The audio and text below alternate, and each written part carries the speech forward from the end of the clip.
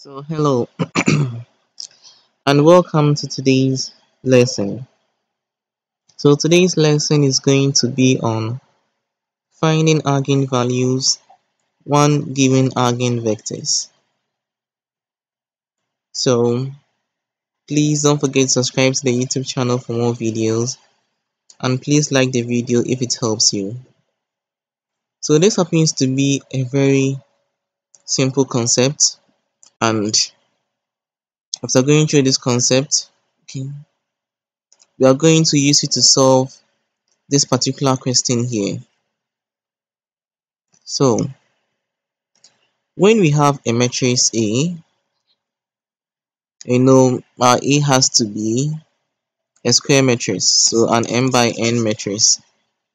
Then this formula here holds so our A times V is equal to lambda V, where A is our square matrix, the V is the eigenvector, and the lambda is the eigenvalue corresponding to our V. So I hope you get this formula because this is going to be everything that we need to find for our eigenvalues when given eigenvectors. So let's take an example. So this question here says, consider the following eigenvectors. So we have this v1, we have v2, and v3. So we have three eigenvectors of b such that our b is given by this particular matrix. So the question says we should find their corresponding eigenvalues lambda 1, lambda 2, and lambda 3. And trust me, this is very, very simple. Okay, so let's start. So you realize that our lambda 1 given in the question, sorry, our v1 first eigenvector given in the question is v1 equals 0, 1, 0 transpose. So this is the same as v1 equals, in terms of writing it in a column vector sense, 0, 1, 0. I hope you get it. Alright, so Recall that we said this formula is going to be very important in all our calculations.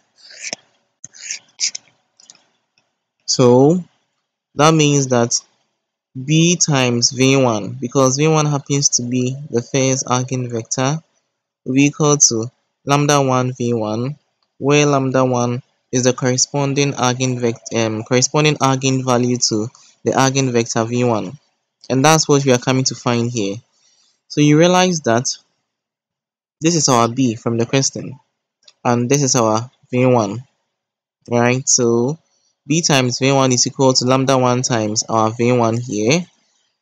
So when we do this matrix vector multiplication, it is going to give us 0, 7, 0. Then it will be equal to everything at the right hand side. So you realize that we want this here to look like this, right? Or we want this here to look like this. So the only way we can do that is to bring 7 out. So when you bring 7 out, we are going to get 0, 1, 0. Recall, remember that, um, or note that if you multiply the 7 through, you are still going to get what is here. So when you bring our 7 out, you are going to get 7 out, 0, 1, 0 to be equal to lambda 1, 0, 1, 0. So making comparisons with the left hand side and right hand side, then we can see that our lambda 1 here is equal to 7. So that means that the eigenvalue corresponding to the first eigenvector is lambda 1 equals 7. Then, when you have our second eigenvector, so we are going to use this formula. I hope you know that. So we've stated it several times. So this is our b and this is our v2, our second eigenvector.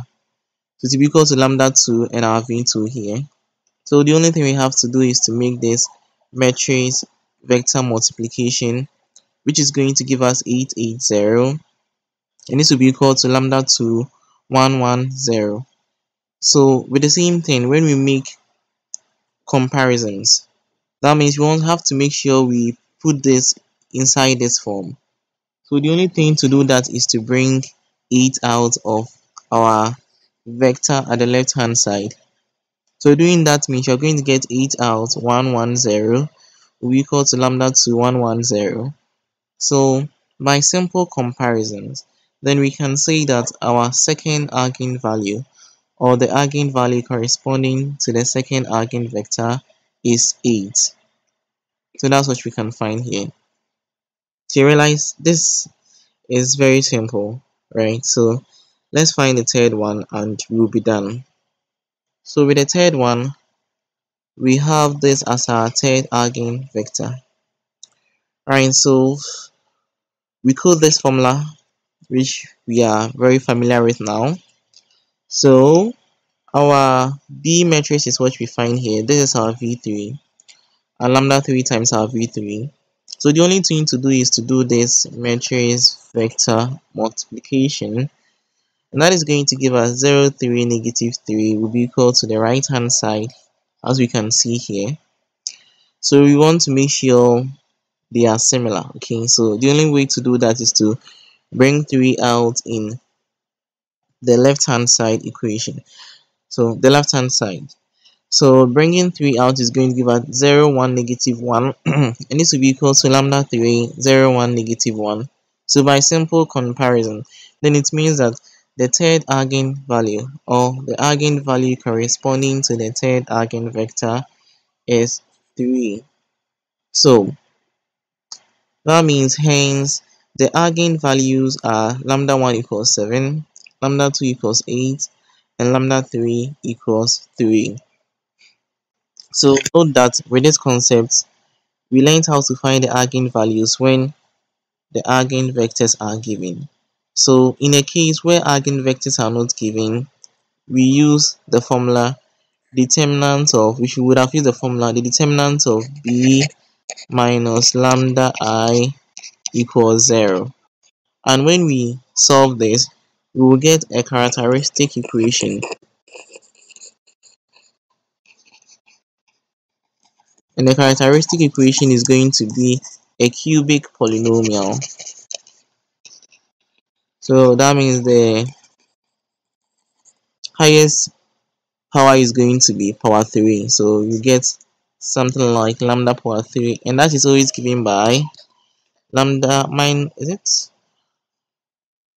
lambda cube minus lambda cube plus the trace of a lambda squared minus the principal minor of a lambda then plus determinant of a equals 0 so this is always our the form of our characteristic um polynomial.